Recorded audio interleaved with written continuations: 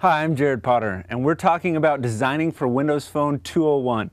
In this section, uh, we'll talk a little bit about me, which is uh, for the last three years, I've been working on Windows Phone. It's been my passion to be in the design studio, and I was design integration lead in the mobile studio for over three years. Currently, um, I'm the principal designer at 6F Studios. If you have any questions about these, you can always get a hold of me on Twitter at Jared T. Potter or LinkedIn at Jared T. Potter.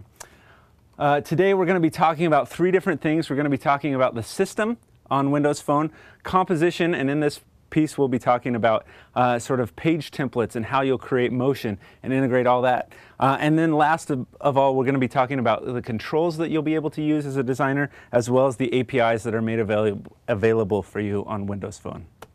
So let's get started. The first thing we're going to talk about is the system. Now, uh, the first piece of the system is sort of the navigation model, but you wouldn't be able to talk about the navigation model if it wasn't for the hardware that the system was provided in. So we have a hardware spec, and obviously there's lots of different manufacturers and OEMs making really great phones like HTC and Nokia. But every single phone has some similar traits. One of the traits is that every single phone has a power and sleep button. Uh, you wouldn't be able to get to the UI at all without the power and sleep button. We have a volume up and down that controls obviously the volume, but also shows and hides a little bit of UI that allows you to skip forward and backwards through tracks. So that'll become necessary if you're working on an audio application where you're using background audio or anything like that. We have camera, we're going to talk more about that. You have lenses, controls, and some really fun, exciting functionality. We've got a back, start, and a search button at the bottom, and I'll talk about those in detail. Uh, so the very first thing is the start button. When a user presses the start button, this takes you to the iconic start screen that you see in Windows Phone with the live tiles, the action, and the icons that are all seen there displayed on the screen. Now one thing to note about this, the developer or designer has really no access to this. By default, when you press this button, it always will go back to the start screen and jump you out of whatever application either you've created or ever, whatever third-party application you're in at the time. The next hardware button to think about is the search button. The search button is always on the bottom right hand side and also this will always fire you basically into the Bing search. This is a global search across the whole system. You also have little control over this. You can use it uh, especially to jump out and look at search and go into a global search, but not really a piece that you're going to customize or put some control on. The one that you have the most control over is the back button. The hardware back button is used to navigate back on pages and screens within applications or between applications. This is something that you actually do have control over in your history, although we really want you to use it in a consistent way across Windows Phone, similar to how we're using it in the, in the shipped applications that come with Windows Phone. Another thing to note about the hardware back button is that it does more than just let you go back from one application in the history stack to another or from one page to the other. It actually, on a press and hold, zooms out from the UI and allows you to jump and multitask back through the pages that you were working on. This is a really cool, quick piece of functionality. One of the ways that it works is if you were to tap on the last item, these would swap place, allowing you to flip between two applications if you were copying and pasting and doing other multitask. This is similar to how uh, dragging in from the left, left side of the screen on Windows 8 works for multitasking. So one of the things, I'm going to start off today talking a little bit about the navigation model and the history stack. And, and, one of the things that I'd like to point out, the very first thing that I'd like to point out, remember back means back, not forward, not sideways, but back. On Windows Phone, we have a hub and spoke navigation model, meaning this is sort of the hub or the starting points, and then these are the spokes that go out from the beginning. If you hit the start button, you're always going to end up going back to that start screen, that home screen. Uh, likewise, as you drill out into the applications, if you hit the back button, you'll continuously go backwards up towards that start screen. If there's nothing left in the history stack, you will end up back at the start screen. So let's do the, and a quick example of that. Here, this has been the same since the first version of Windows Phone, where you would start on an old start screen. You'd click and go into something like the People Hub, after that, you'd click and maybe go in to see your what's new, or actually in this case, you're in a panorama, so you would just pan over to the right-hand side and see what's new. And you might click on a social feed. When you see that social feed, if you hit the back button, you would go back, of course, to the panorama that you're from. But one of the things that I'd like to point out is that moving sideways left and right in both a pivot or a panorama, just interacting on the same page, doesn't add or remove anything from the history stack. So if I was to hit back again, it would actually remove all that history. That's all been the same since Windows Phone 7. It's been consistent and it's never changed. Uh, another thing, another way to look at this is we, if we were to start out at the People Hub, click on a contextual menu, which is a press and hold, and I'll get into that later, talking a little bit about contextual menus and other systems. And I was to do something like pin that item to the start screen. It would kick me out to the old start screen. Once again, the same since the beginning. And then if I were to click on that person's contact card, it would go directly into the contact card. The only difference with this, and if I pivot over, of course, in their history and look at that, is that when I start to go backwards, back up this history stack, you'll go back to history, back to the profile, back to start screen. But remember, this step that I did was a press and hold. It was just the contextual menu, so I would actually skip that and go right back to the People Hub. So by default, one of the things that you need to remember is that you can do some manipulation of the backstack as a developer or a programmer, anything that might be something like a shopping cart or a, a, modal window or something that pops up that gives you options, you might want to remove, right? It gave you the option to pin that to the start screen or edit it or delete it. After you've done that and you hit back, you don't really want to go back and say, hey, do you want to edit this again? Most likely you do not, and you've already completed that function. Uh, so something like this, this is a great example. You're going into a shop cart or a wish list. You do some billing you put in your credit card, you pay for that, and then you're finished. If you hit the back button, you don't want to have to pay for all that stuff again. You'll just jump right back into the shopping experience. So that's kind of how we want you to use and manipulate the back stack. Uh, here's another example of that with search results jumping from the front and the back, but more, most likely in most of these scenarios, we just want you to continuously use the system that was created for you. Uh, there are a couple of places and UIs that you would absolutely want to remove, which are like transient UIs, uh, loading screens that come in that have nice animations. Maybe you built those out as their own page or their own item. Uh, maybe it actually has a pop-up that comes up at the very beginning that allows you to log in. You wouldn't want to, if you hit the back button, be asked to log in again. Once you've logged in, you're logged in for good, unless, of course, you log out. So here's a couple of navigation how-tos when you're using the Windows Phone system. Trust the hardware start and back. Don't try to program around it. Obviously with the start button, we don't let you do much with it, but with the back button, we do allow you to remove things from the history stack, add things to the history stack, but really use the system the way it was meant to be uh, used. The second thing I'd like to say is be really predictable. Uh, we are predictable and we work very hard across the whole OS to be very predictable in the way that you interact with Windows Phone, um, especially with Windows Phone 8 but uh, we don't want you to come in and introduce new navigation models.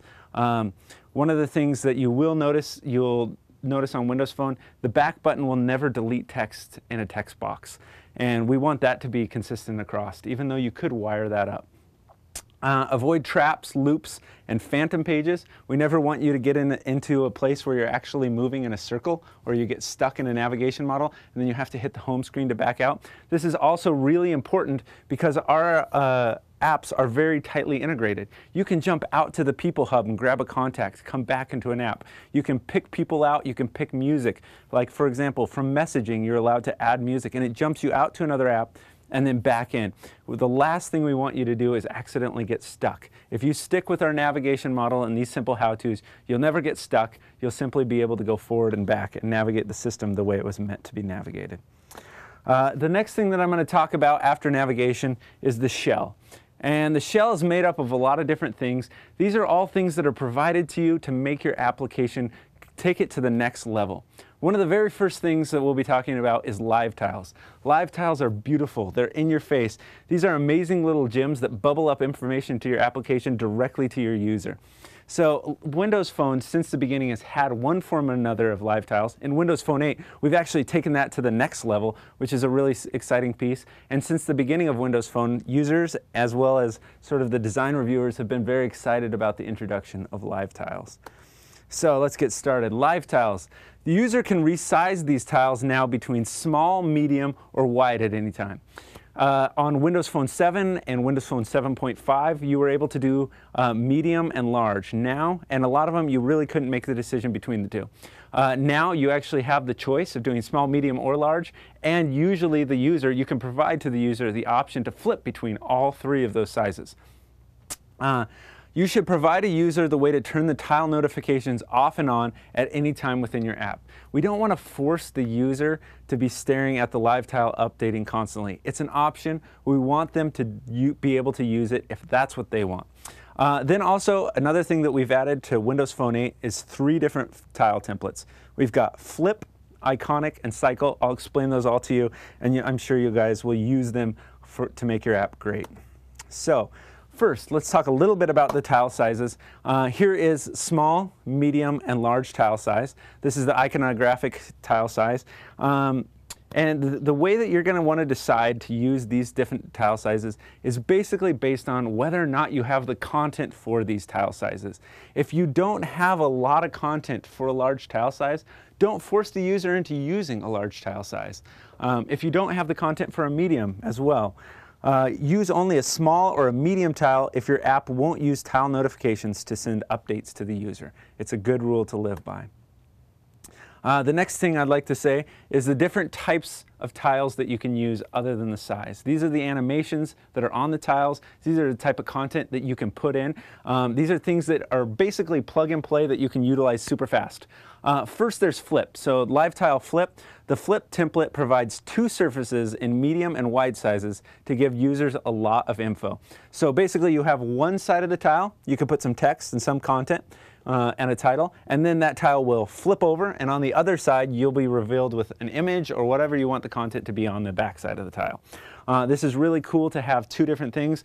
A good use would be a weather app that displays the current temperature on the front and the, and the five-day forecast on the back or a bus tracking app that shows stop and arrival times on the front and a map of the current bus location on the back.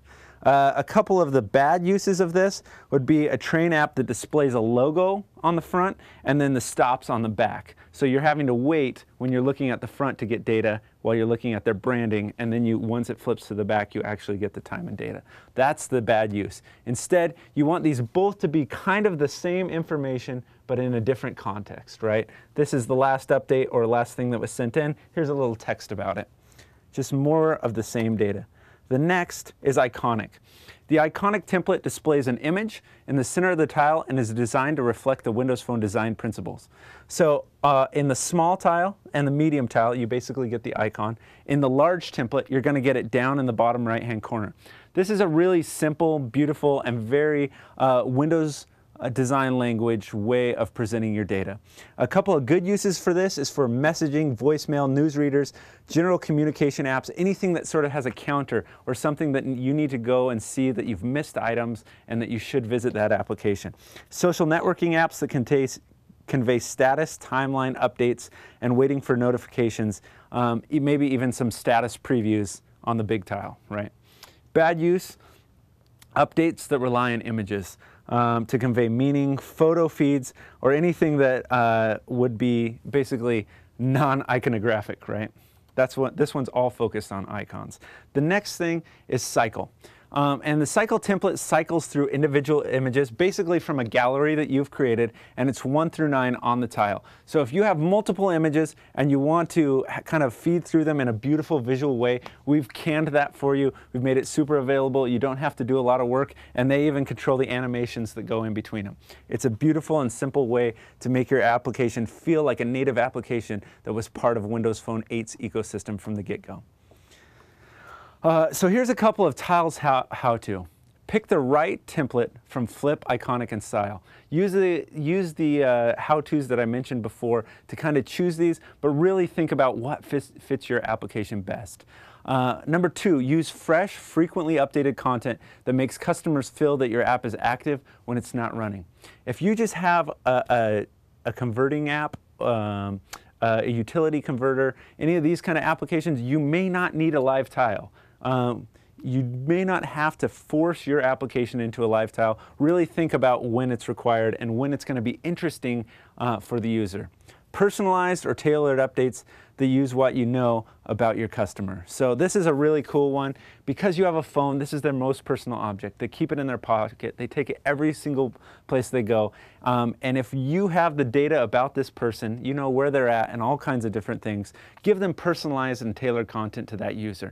Don't just make it generic content that's being blasted out. The last thing that you want your live tile to be is spam.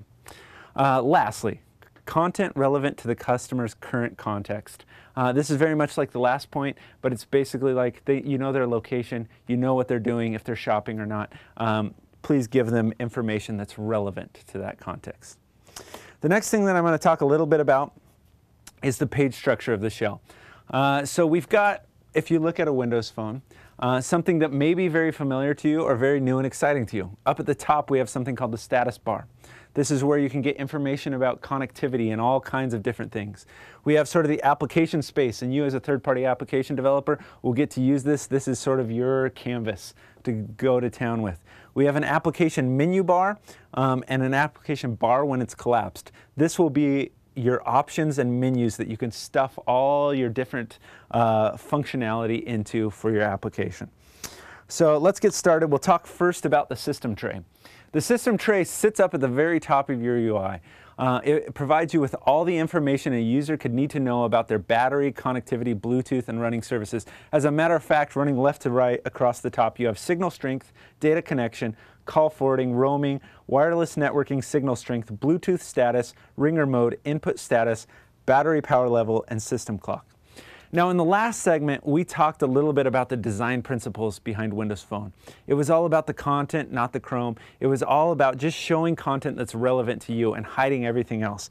Uh, the system tray does exactly that. By default, the system tray will be hidden up across the top. Uh, as a third-party developer, you can uh, actually show and hide this completely in your application. You could have it appear on screen or you could get rid of it for a full screen application. Uh, by default, the second step that you can do is if anything is important or needs to be bubbled up to you right away, like if the phone battery's dying or if it's plugging in and powering up, or if you're connecting to a new Wi-Fi, one of the individual icons that is the important icon will appear at that time. So here's mine charging. Uh, if you tap anywhere along that top pixels, uh, double tap or tap directly on the, the time, uh, it'll expand out the system tray and you'll get to see all those options.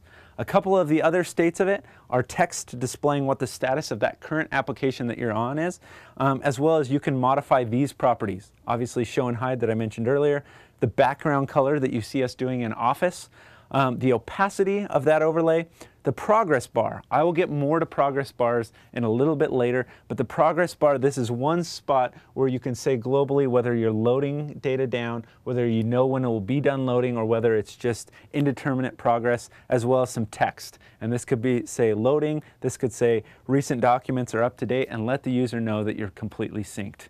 It's a fantastic global way to show kind of your overall status. So here's a couple of system tray how-tos.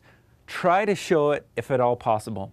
It's really easy in your application to love your design and make a design that's not really suited for the Windows Phone. It's just a great mobile app. But if you can, turn it on at the top, make your design around it so that it fits nicely in. You never want an application that's getting used all the time and a user can't even see the time. Uh, the time, the clock, the battery life. One of the great uses of this on Windows Phone is the browser. Uh, by default, it's gone, it's disappeared, and you get a full screen browsing experience. As soon as you tap and expand uh, the address bar at the bottom, you get the data, the time, the alarm clock, everything drops down from the top. So you have a way without leaving the browser to always check the time. Uh, use it for progress or to show status. Uh, you can build this into your own applications. You can write this code. You can have a developer write this code for you, but we've done it for you. All you need to do is fire off the system tray and allow it to open and expand itself and push a little text up to the top. All right, next. Lost my spot there. Sneak peek. Uh, you, we'll be talking about the app bar. So the app bar is basically the menu system in Windows Phone 8. It's been there since the beginning, since we first started in Windows Phone 7, but it's docked at the bottom and it's always at the bottom.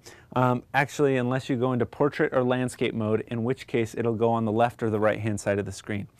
There's a couple different steps, uh, states. There is the minimized app bar icon, and this is specifically to be used in panoramas. I'll get um, more into that, and you can use it in other scenarios, but it was originally designed to be in panorama controls. Uh, there is the default state, which is a collapsed version of this, and then of course there's the expanded state. By default, you get four icon slots to put uh, menu items in. These are little uh, graphical icons and they have a single piece of text. This text is very short though. Uh, it doesn't allow you a lot of space, so please try to use the shortest words possible. You know, you'll notice on Windows Phone we hardly ever go over seven characters when it comes to this. It's words like new, select, sync, search, and don't ever use two words in that. It's just supposed to be very simple. If you have longer text or something that can't be described with an icon, push it down to the menu items underneath. By pressing on the dot dot dot or a flick gesture up, it'll expand up the application bar and it will show you a scrolling list of the uh, menu items underneath. These can be uh, additional items that couldn't have shown off uh, in the top level icons. So application bar icons, application bar, bar icons should be as you design these should be very clear, understandable, and leverage real-world metaphors that are familiar to users. In the last segment, we talked about navigation graphics and infographics. This is where we got the inspiration for these, and the best icons have very simple geometric uh, shapes and limit the amount of fine detail. So it's something that should really, because you can't really localize these in an easy way, the way you can localize text string to a different language or do globalization, um, try to use an icon that people across the world are going to understand, even if the text has been translated. So here's a couple of app bar uh, how-tos. Use icon buttons for the primary most used actions in any application. If there's something that's getting used day to day and they're hitting it really quick, the, the app bar that rests at the bottom of the screen is the closest to their finger and thumb and is the fastest way for them to act on those items. The application uh, bar is perfect for this. Um, don't use four icons just to use them. Uh, it's very fun and cool little control at the bottom, but sometimes just because there's those four slots in there, you can use one, two, or three icons just as easily. And in a lot of times, less is more in this space. Uh, if you only have searching on a list, a very simple search icon, it being the only thing in the app bar, is fine. It works great. Um, and then use the user-defined system theme colors unless there's a compelling reason to override this. Later in this section, I'm going to talk about theming, how you can theme your entire application and how Windows Phone supports light, dark themes as well as accent colors. If you use the defaults, everything will work perfectly. The text will be legible. As soon as you start to tweak that, your use cases and the things that you're going to need to test uh, are going to go more and more and up and up. Uh, so by default, use the user theme defined theme colors, uh, the system defined theme colors if you can, um, but if you have a highly customized app, just put in the time to test it against light themes and dark themes. We'll get more to that in a second. Here's something else uh, that is great for the system. It's called Toasts, and it basically pops up at the top of the screen right here. You'll notice right next to the system tray, and a toast displays at the top of the screen to notify the user of an event such as news or a weather alert. An incoming text message also fires this up. Here's the anatomy of a toast. It basically has an app list icon. Every toast is correlated with an application. When an incoming text message comes in, it will have the text SMS icon. Uh, then there's text one, which is basically a bold text, and then the text to follow, which is content text. A text waits around for around 10 seconds, and one of the things that you can do to dismiss this text and just get rid of it is a swipe of your finger uh, to the right-hand side, and it will throw it off the screen. Here's a couple of quick little hints about working on them. Uh, to, to, toast links, they basically truncate and run right off the right-hand side side. You don't wrap the text in them, um, and this is a controversial decision, but very easy to read and legible as long as you limit it, your content inside it. With the title, approximately 40 characters can be displayed. Content only, then approximately about 47 characters can be displayed because you don't have that bold text on the left-hand side. If a toast is split evenly between title and the content, then approximately 41 characters can be displayed. We've measured this out in the design studio. Keep your toast simple if at all possible. This is the kind of thing that's going to be bubbling up when someone's sitting in a meeting, driving in the car. We don't want them to be distracted at all. It's something that you should be able to glance and go. Any text that does not fit in the toast will be truncated on the right-hand side.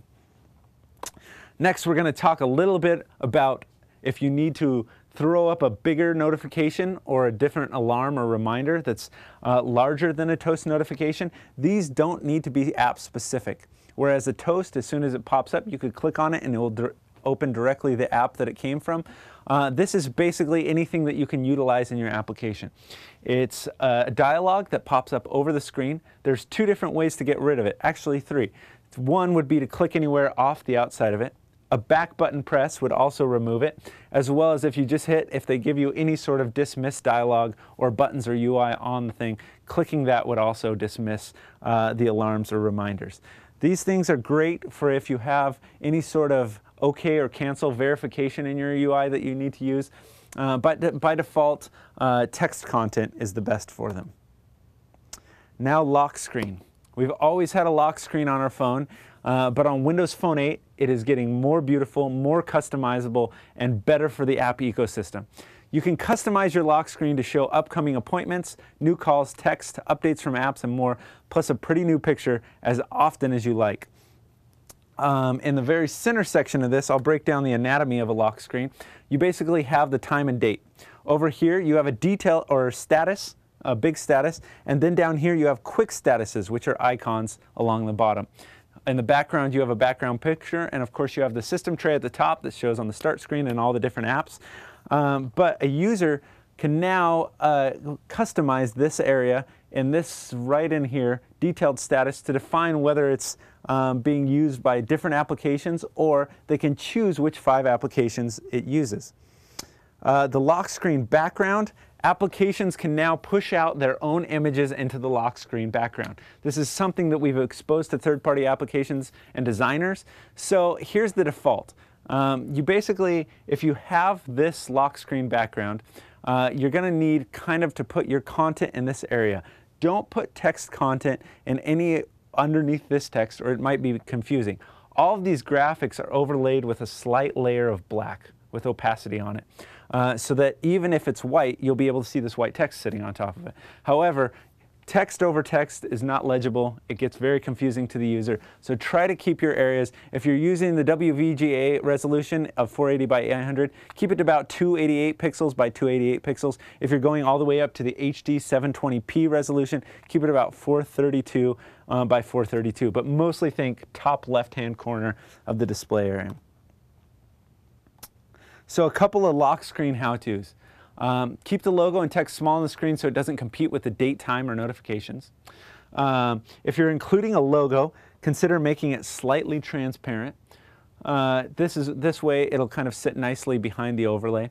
If you choose to include text, it should relate directly to your image so that it's not confusing or competing with the text from all the other apps that are bub bubbling up content at that point in time.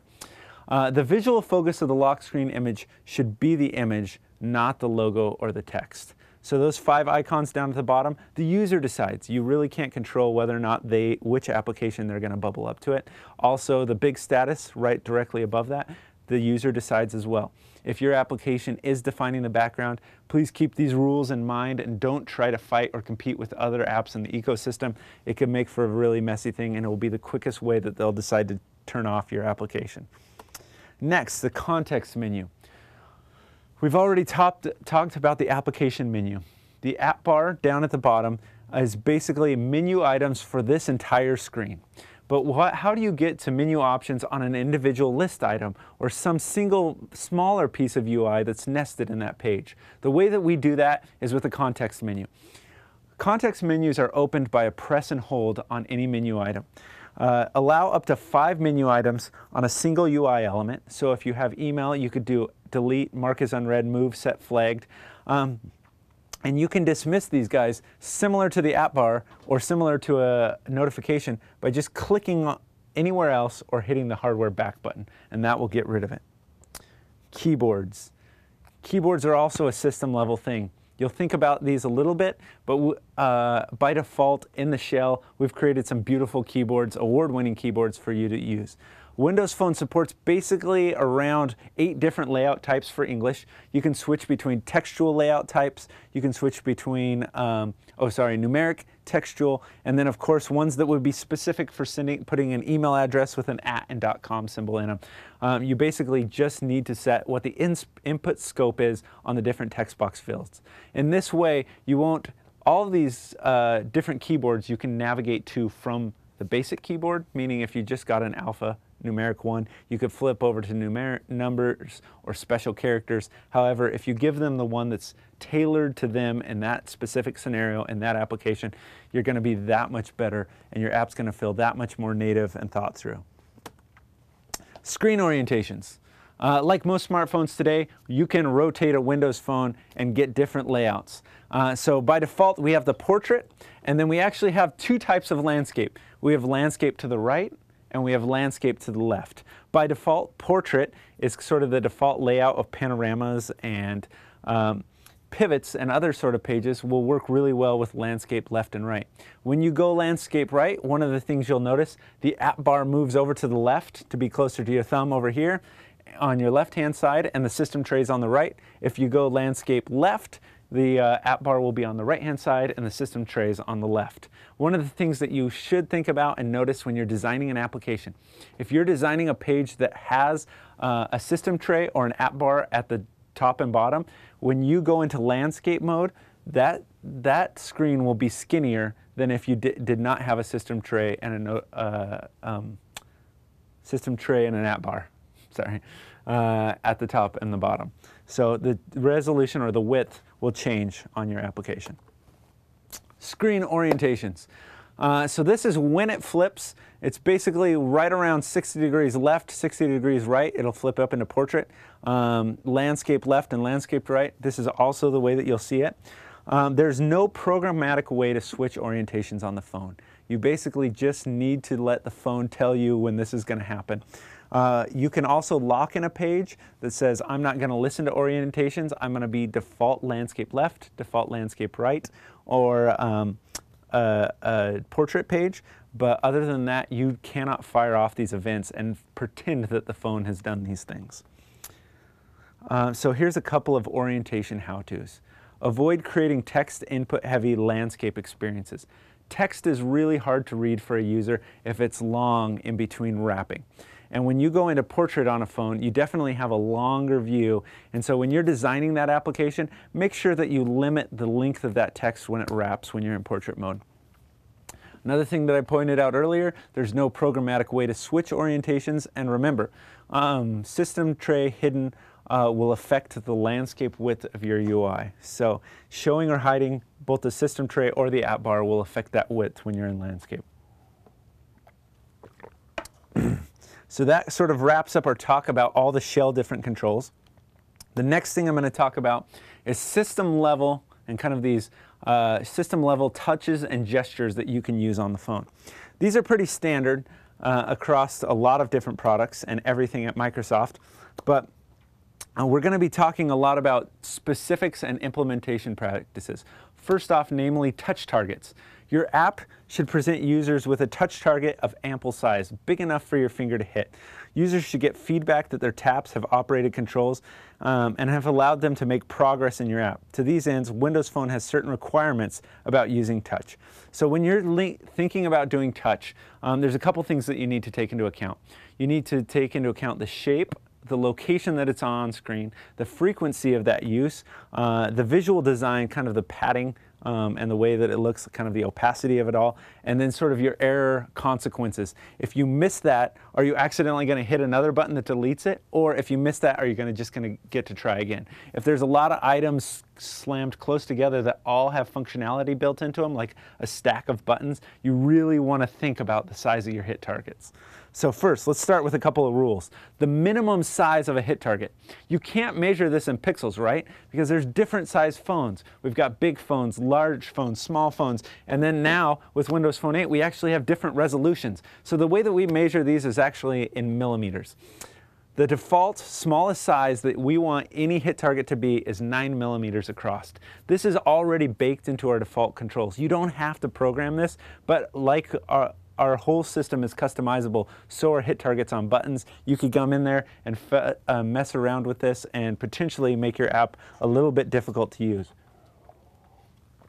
On our system, we have a couple of hit targets that are seven millimeters high. You're allowed to do this, we do this, but one of the rules that we try to get you to stand by, if it's a seven millimeter high hit target, make sure that it's a long and skinny hit target so that they can miss to the left and right. We find that this uh, improves usability And so uh, 9 millimeters would be the default square, but if you're using a 7 millimeter high one, please make it a rectangle. Uh, another thing uh, for negative hit targets is that your hit targets don't actually have to be the size of the visual object on screen. Uh, in Windows Phone, we use negative hit targets or negative hit margins. You may have heard these called. Um, in most cases, make the visual size equal to the touch target size, uh, but using spacing makes controls look easier to hit.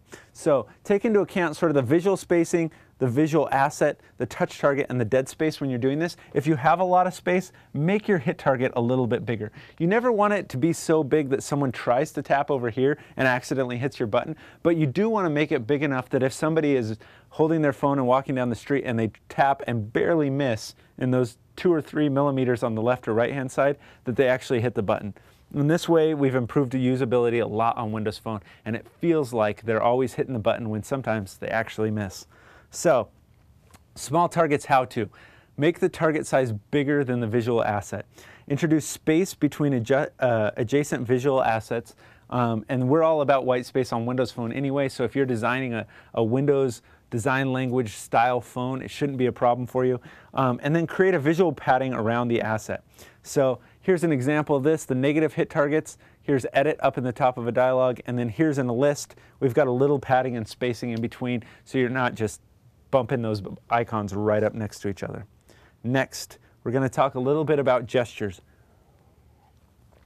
Input gestures are vital to Windows Phone because we're basically um, a touchscreen device. We have some hardware keyboards, but this is mostly the way that we interact with the device. This is pretty standard. It's a tap. A tap is just a single brief touch on the screen within a bounding area and back up again. It's not a tap if the finger comes down and moves slightly. That goes into a different gesture. But one of the most interesting things about tap gestures is that they actually have to come down and then come back up. As soon as you do anything else, it's engaged a totally different gesture. So it's basically the time down and the time up. So you'll notice that taps never engage really until that release. Um, so a finger down provides touch indication, finger, finger up executes the command. A double tap Double taps are not used very regularly on Windows Phone. One of the ways that they're used is in images to zoom in and out or on browsers to zoom in and out. In the image controls we use them and then also in the web browser control that you're provided with to design your own applications, you have use of this. So you can double tap. You also have this control to use in your own way, right? This gesture is something that we've programmed in so you could write your own functionality around it. We just ask that you kind of use it in lines with the way that we're always already using it. Next, a pan. I mentioned this earlier. A pan is a single finger down, and if your finger doesn't come right back up and do a, a tap right then, then you are in the panning gesture. Um, and, or actually if it moves, uh, if it begins to move across the screen. So a, a, pan is a single finger placed down and moved across the screen in any direction. The pan gesture ends when the finger is lifted, and usually this does not make the UI glide after it.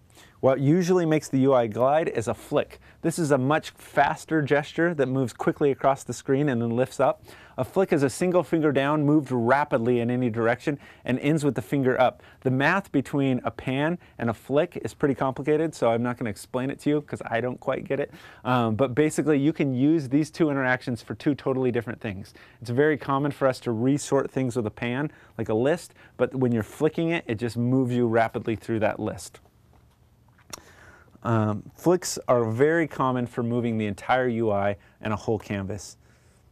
Pinch and stretch.